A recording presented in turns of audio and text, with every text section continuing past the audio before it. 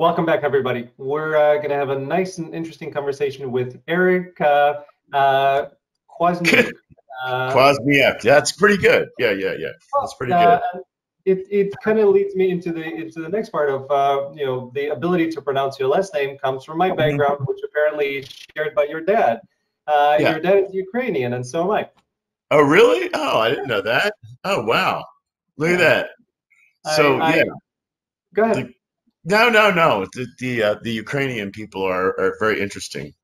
Very interesting. a little bit of a lot of emotion, a little bit of misery. Very creative. Um, yeah, but very creative people. Really, really smart people. Yeah, proud. Uh, you and I, you and I met at uh, Shari Shaw's uh, uh, classes that we've been taking, you know, power hours, and I've seen you at least three or four of them uh, we've been on together, and I've uh, kind of you know made a mental note of uh, you have a you have a specific look, right? If people are looking at you, they're going to say, okay, this is a very serious guy. I definitely see you know actor who can play you know the FBI or the police agent, but then most of the time that's not how you are you're very friendly you're very open you're laughing and smiling uh, and it's interesting to me because uh, obviously you have range as an actor and you can play multiple roles but the uh, your headshots are showing one side of you, and I most of the time I saw a completely different side of you. Is that what yeah. you're finding as well? Yeah, most of my life actually. I have like a most people say that I have like an intimidating look about me when I'm just not even conscious, you know, just going about my daily business. Um, a very kind of like serious, maybe brooding type mm-hmm. of look about me. And that's just because I'm thinking um, you know, it's just the way that, and I don't, I mean, I'm aware of it, but when you talk to me and when you get to know me, I mean, it's, uh, I have a much lighter side to myself. So, yeah. Very much yeah. so. Yeah. yeah. It, it, was kind of that first impression, right? Um, when we come into the power hour, and the power hour is when uh, Shari, uh, Shari is doing a wonderful job of allowing her students uh, to speak with casting directors and uh, you know producers and directors and fascinating yeah. when we have a chance to read for them. Uh, so the first thing is we come in and I kind of see a bunch of uh, people on Zoom and I see Eric. And the first time I was like, okay, that guy is, you know, serious and brooding, like you've mentioned. And then he started talking like, that's a completely different guy. So uh, to me, it was it was an interesting note. Um, I I found something, and this uh, it reinforced what I was um, what I was sensing uh, watching you perform and watching you doing some of the uh, scenes um, yeah. that emotional base and the ability to kind of uh, snap into a dramatic character and have a lot of emotion behind it that comes uh, through on uh, on camera but it, it also uh, in doing my research on you and in watching uh, watching some of your uh, performances um, and your demo reels I saw that okay that's where it comes from because you didn't have, let's say, um, the easiest uh, upbringing and the easiest uh, journey here. Is that where that comes from? Uh, definitely, probably most of it. Um, you know, uh, I'm here in Los Angeles for the second time. The first time was in my 20s, and uh, uh, yeah, I just had a lot of problems with addiction over the years, and uh, you know, I managed to. What I did was, uh, you know, I guess I was one of those actors, like many that come to Los Angeles, don't have a real sense of of of um, identity. They get lost in this crazy town they can't navigate, mm-hmm. um, and then they they suffer, and a lot of them leave and go. I don't know what happens, but for me, and a lot of you know, I mean, when I lived here before, I saw a lot of people that didn't fare well. That some of them lost their lives. But uh, for me, I was lucky and blessed to go back home to my hometown and get sober. Uh, so, you know, I managed to go back home and learn about myself and grow up, basically, um, but still have a lot of uh, interest in, in my cre- creativity. I didn't lose that. So I'm back here in Los Angeles at 50 and it's kind of crazy. yeah. because a lot of people, you know, um, it's I've gone gone against the norm. Most mm-hmm. people would have given up on something like this and said, you know, I'm going to go and just get go a stable career somewhere and I'm going to like let this go. And I did let it go for a number of years. You know, I I really didn't want my ego to play a large role in contributing to the arts and contributing to this. So I really wanted to squash my ego and I really wanted it to be about connection and what I could bring. And once I felt that those things were in place in my life and in my psyche, I said, you know what? I'm going to go back to Los Angeles because I feel that um, I have something to offer today and that's genuine and that I can show up and I can do a good job and work with other people. So.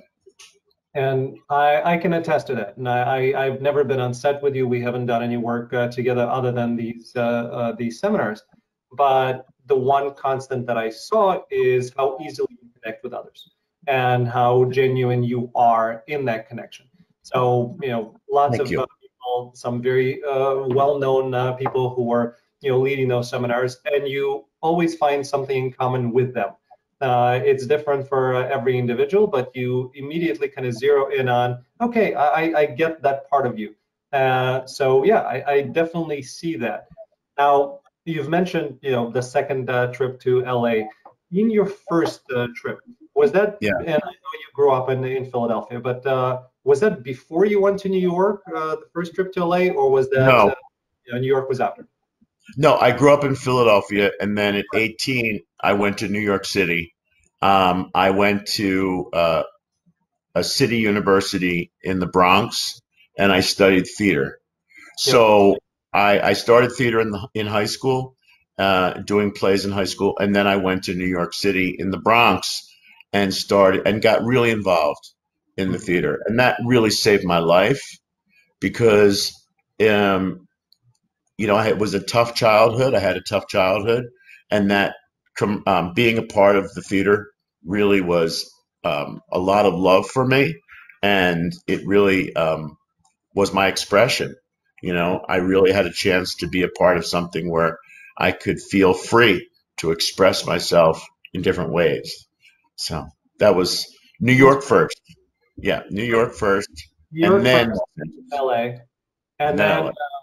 Uh, and then, so when you were doing stand up, uh, yeah. was that the second time you went to New York, or that was uh, kind of before the first LA visit? No, before I came to LA for the first time. I started in New York, and um, I started at a, um, a place called Glad- Gladys's. She had an open mic at a little comedy club in New York, yeah. and there were a few people there at the very beginning that I was with that started ex- about the same time. So that was me, Zach Galifianakis, Nadia Ginsburg, mm-hmm. um, Victor Verhey, uh, and Jim Gaffigan. Mm-hmm. Those were the people that were around those first few months that we started at the same time. Yeah. So it's it's an interesting yeah. group of people to hang out with. Uh, did you do a lot of that? Were you uh, were you guys uh, every night? Yeah. Every night. Um, yeah, well, I had gotten sick when I was uh, 21, hmm. and um, I uh, was diagnosed with AIDS when I was 21, hmm. and I was really uncertain about how long I would live, and I somehow a friend of mine took me to a comedy club one night to cheer me up and I really fell in love with what I saw. So I've had these moments in my life where I've been blessed to be guided into something, and it's always a lot of creativity has saved my life. And so I, I can honestly say that it's been a big, big part of my, um, my faith. Uh, you know, being able to express, uh, to make people laugh, uh, that was a big part of my life, and I honestly, I really believe that was a huge contributing factor for my health. You know, I'm very healthy today. Uh, I have a great immune system. I've been blessed to survive. So I've survived an epidemic, you know, and um, I've been really fortunate. That's yeah. wonderful to hear. Um, I'm, I'm so happy, you know, first of all, that you're here, uh, and I don't just mean on the show, that you're here here. Um, but it's it's great how uh, you allowed yourself to not just receive that guidance, but to actually do something about it. And, yeah. um, and I'm not surprised that you're in LA again. I'm not surprised that you're continuing to do this because I think that's that's really the core part of of you, and that's that creativity, that ability to uh, to use that part of yourself uh, in that expression. I think that's who you are, and that allows you to uh, to do everything else. So I'm very happy that you actually went through with it. A lot of people may have seen that guide and said, "Okay, I get it," and not do anything about it. I'm I, am i am commending you for uh, for having the uh, chutzpah uh, to go ahead with it. Yeah, I don't know how I'm here or why, but mm-hmm. I know that you know. So the, the thing is, is that you know we we all have dark times in our life, mm-hmm. um, and there is different elements. I mean, there were a lot of things that were presented to me, like people that cared and people that wanted to help me, and um, sometimes I took the help, and sometimes I didn't. But later on, I really started to take advantage of all of the help that was offered, and I followed through with it because there was. Uh, definitely something inside of me that wanted a better life and I mm-hmm. kept moving towards that. So that's it's movement. It's always movement forward. Movement forward despite because there's never a you know, there's never a like mountaintop that we get to. It's just it's the only thing we really have control over is moving forward. And that's really it is moving forward and being on this staying on the journey and seeing where it takes you. So it's pretty much, yeah. No, it's, yeah. Thank you for saying that because uh, a lot of people who are not necessarily familiar with the you know actor's lifestyle, uh, you know, they see stars on TV, they see uh, the you know the cars and the riches, and they don't understand that you know to get there, certain people do. Uh, most of the people are not there. Most of the people are working odd jobs just to pursue their passion, and right you have to live it to understand it. And um, I love when in um, in the marvelous Miss Maisel uh, in the beginning of the show when she was uh, when she was speaking to the uh, comic whose name I can't believe I forgot right. Um, mm-hmm. And she's asking him, you know, would you do it uh, if you could do anything else? And he said, I would love to do something else because this is insane, but I have to because that's who I am. Same same applies to yeah. acting does to comedy. You just it's either you or it's not. And right. um, I'm happy that you're sharing the uh, you know your story and what actually uh, life is like of a lot of actors. And it's uh, you know it's it's exhilarating, but it's a lot of uh, struggles uh, that you have to go through. Yeah, and I think that for me personally, uh, you know, I I made a decision that when I came out here again, where I'm at in my life is that I am still um, hopeful and I'm still optimistic that there's a place for me in this business. But also at the same time, I wanted to be honest about my story because I wanted to offer people that if I have a chance like this platform to be able to say that you can still move forward and there's still hope if no matter what you're going through to be able to maintain your your dreams and to be able to maintain and stay on a path that makes you feel like you have purpose you know so a lot of my prayer about being in this business now is that i have the chance to have some success um, in the business you know i mean i already feel that i'm a success but to be successful as far as professionally working mm-hmm. to be able to, to to offer something to other people that may have lost sight of their purpose or their dreams and to say that you know what you can come out of something so that's you know that's important It's important, and it, you know, right now we're in a pandemic. It's it's very important to hear that as well, just from that perspective, that we can come yeah. out of it, and no matter what you go through, you can uh, have a smile on your face, and uh, you can use that uh, as your way forward. So yeah, yeah I completely agree. Now, you know where you are right now, and you're in LA. Obviously, you're you're auditioning, you're studying a lot. You know, I only see you in some classes. I'm sure you do a lot more uh, working with Shari and others. But what uh, what do you do? Do you uh, do you have a side hustle? Um, is acting something that you know pays enough for you not to do anything else right now?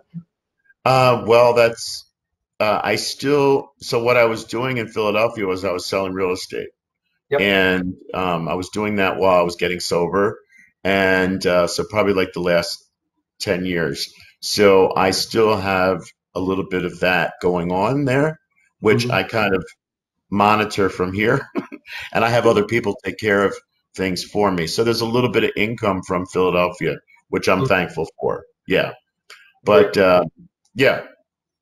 For now. For now. Well, and, For uh, now. You might see me working at Sprint one day, you know, or I, who knows. And, and Whatever I have to do. Yeah, it, it doesn't matter, and that's uh, doesn't matter. I remember uh, a number of months ago, you know, people started uh, kind of posting all over the social media about, you know, a you know very well-known actor that was working uh, in a in a grocery store. And Absolutely. Shocked by that. It's not shocking. That's reality, and it's okay. Yes. It doesn't make yes. when you an actor, uh, you know, by by doing something else. You are an actor. That's who you are. Yes. Yeah. Um, in terms of becoming an actor, you know, your your path. Uh, you've mentioned that you were in New York and you were studying there, and then uh, in New York you get a chance to work with one of my favorite actors, uh, Victor Garber. Um, what was oh, that yeah. like? Uh, what what did you learn from it in terms of uh, you know acting technique specifically? Well, with Victor Garber, one of the things that was really key for me was that he um, was very encouraging, and he really thought that I believe, made me believe that I had a lot of talent, mm-hmm. and he was um, somebody that grounded me a bit, and he was, um, you know, uh, we had a lot of truth in our conversations, and there was a lot of um, he understood me as a person which was really great. Uh, he paid attention to me and made me believe that I was someone that really did have uh, a, a lot of talent. And that was important to me at the time. I needed a mentor, you know, in my early 20s. And he was someone that was like that for me, that made me believe in myself. Yeah. That's great. Um. Again, I don't know anything about Victor Garber you know, as as a person. I've just seen him in uh, in films, but uh, he seems like a very genuine uh, human being. So it's it's great that you had that. Uh, yeah. And he's also been a working actor for so long. He's in so many different things, and uh, I really admire that type of life. I you know, love, would love to have that life for myself. You know, so. And it's it's not uh, it's not too late. You know, um, uh, I'm 45. Uh, you're 50. So all of these uh, ages don't, don't matter in the acting world because there are roles for all ages and there are roles for all types. And yeah. it doesn't matter when you start. It all matters of uh, you know whether it's something that you want to do or not. Um, let's talk about South Africa because yeah. uh, I know your mom is from uh, South Africa, and then you had a chance to go there, and uh, you've worked there and you've studied yeah. there. What was yeah. that? Oh, that was uh, the highlight of my life. I mean, hmm. because I had never thought that I would meet um, a part of my family that I never knew. Mm. And I went to meet them in 2013. And then uh, I just loved the connection that I had with people there. My spirit felt very connected to the people there and also to my family. So I went to go see a play at a film school, and I met people there. Uh, and I said, I, I want to go back to school and get my degree. So the following year, I figured it out and I enrolled and got accepted into this film school. Um, and uh, I went back and it was incredible. It was an incredible experience. The school, the country, the culture, hmm um, the the love and the respect that I have for them and they for me. You know, um, I was the you know big daddy on campus because I was the oldest student, but they we worked together. We created things right off the bat, and I had a chance to really get in um, further get in touch and embrace my identity as human being and that was the South African side of me. Um, and it was um, it was beautiful. It was just beautiful. Yeah, I did a few documentaries. I did, uh, you know, I did things I never dreamed I could do. I made a pilot for television, a uh, few films, and then acted in a lot of films. And I didn't go there to act. That was the thing. I wanted to learn how to create content that's why I went to the school to learn how to direct and write and then produce something and see the final result. But along the way, I kept getting offered work as an actor. It was very interesting. So, yeah, yeah. It's uh, we'll, we'll come back to South Africa in a second, but yeah. isn't it interesting how when you are not laser focused on something and you're focused on something else, then other areas of your life start to open up. Um, yeah. I, I don't know if it's because of the pressure that we're putting ourselves to, you know, book certain acting roles, but you know, if that's the only thing that we're focusing on, sometimes kind of everything else uh, doesn't happen, and we keep on pushing and pushing and pushing. But when we let go and we just kind of allow things to happen, and we're there doing our thing, things naturally come into our world, which I yeah. find fascinating. It is fascinating. It is fascinating. Um, and I'm a real believer in that, Allen. You know, at this moment right now, I feel that there are a few other things that I want to do.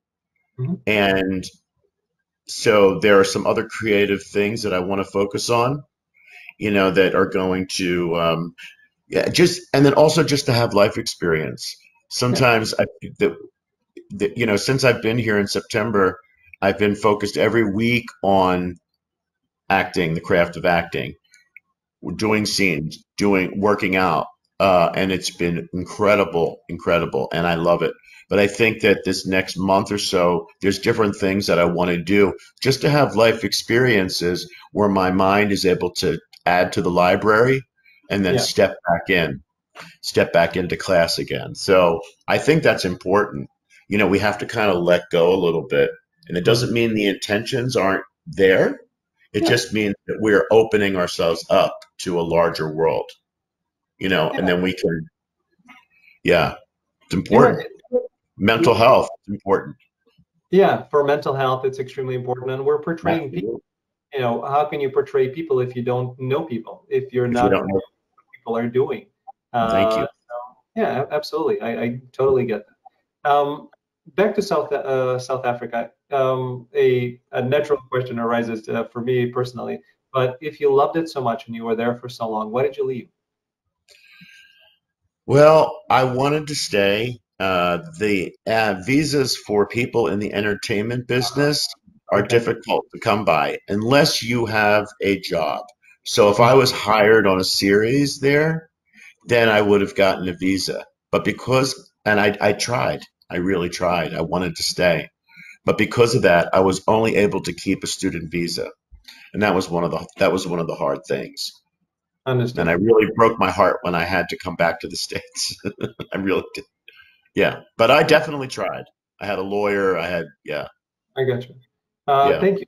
Thanks for letting me know. And what is the um, you know lastly on South Africa? What is the you know uh, community there like in terms of acting, in terms of the uh, amount of work that they do and the level of it?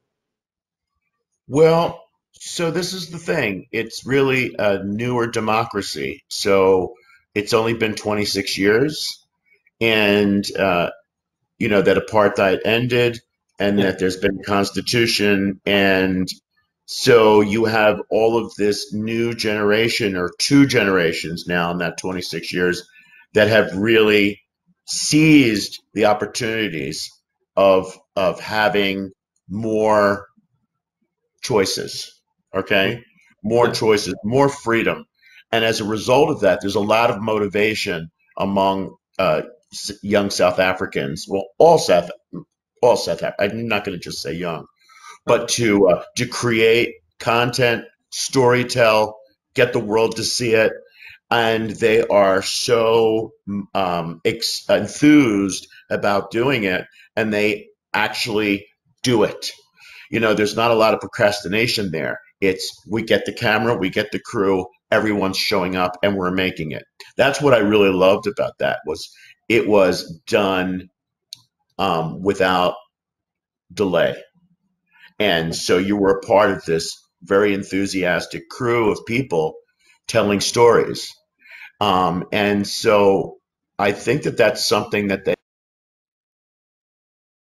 have not taken for granted, like a lot of people in the United States, that, you know, we have time or I can, um, I have so many distractions here in the States. I can put off doing something. There, they don't have as much as we do. So it just pushes them to get things done. And I loved that in that that enthusiasm was incredible. I got swept up in it. I loved it. One of my favorite emotions is enthusiasm. I love when people are excited. I love to see people like worked up in like a frenzy where they feel really passionate about something. I that's my one of the things that I live for is that type of enthusiasm about something. So, yeah. Perfect. Thank you. I appreciate that. And uh, sorry if uh, if I brought up something painful, but I appreciate you being honest about it and uh, telling us the real story. Um, oh no, no, not at all. Not at all. Um, okay, so as as we kind of uh, um, as you're back in LA, right? So, yeah. what's next for you? What would be your definition of success at this chapter in your acting life? Well, that would be to um, definitely get in the door. Mm-hmm. Uh, as far as my my management, getting me in the door and having the opportunity to book job professional jobs. Mm-hmm. Uh, I definitely see myself as someone working on a series. Um, I see myself somewhat as someone that is able to interpret what the writer has in store for a character's development and mm-hmm. where that character can go. Uh, and so I align myself with that in my thoughts, and I see myself doing something like that. Um, and I also see myself um, winning an Emmy one day. I do. I see oh. myself. I've always had that. Uh, there's always been. It's, it sounds crazy, but I've always had this thought in my head about winning an Emmy, and I hold. I just hold that. It's and I. It's important it's important to hold on to that. Who knows? Jim Carrey wrote a, a check for twenty million dollars uh, to himself when he was broke, and then he you know, was years later. Absolutely. So hold on to uh, to your thought of an Emmy. And Absolutely. I'm, I'm not surprised by that. Again, I, I'm I'm a you know up and coming actor. I'm not a casting director. I'm not a producer. I'm not a director. I'm not an acting coach. So you know my opinion is my own and from my own prism. But I definitely see uh, you working on a series. I see your potential. I see the type. I see the emotional depth uh, that it takes to do it. I don't see a reason why not.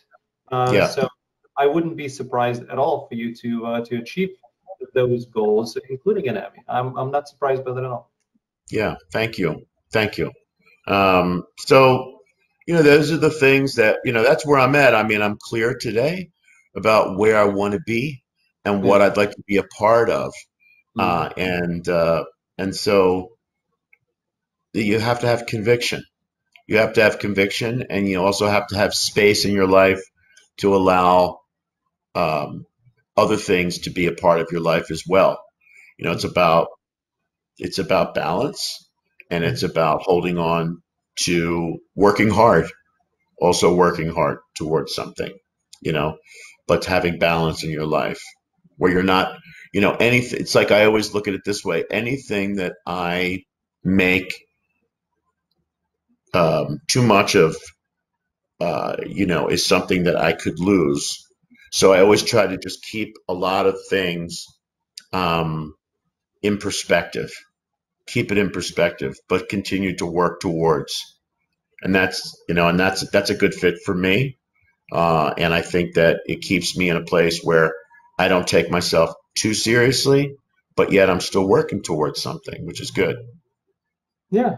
Um, and I, I, keep coming back to kind of an example of uh, Mark Wahlberg. You know, Mark Wahlberg, when he was growing up, he uh, I remember him saying that, okay, I, I got to a certain level, but I didn't think I was going to you know live past uh, you know my 20s.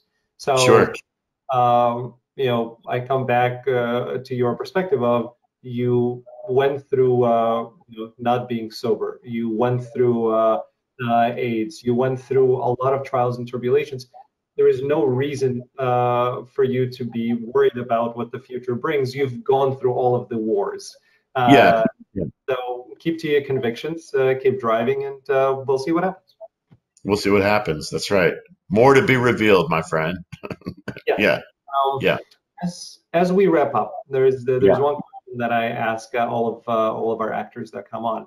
If you were able to give advice to a younger acting version of yourself, what would that advice have been? That advice would be to know that what if you're headed down a path that's dark, mm-hmm. that you can take a detour.